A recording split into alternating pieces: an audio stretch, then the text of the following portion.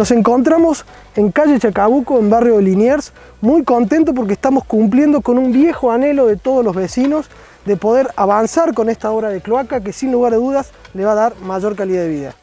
Como verán, es un terreno muy complejo, que consta de más de 250 metros de longitud,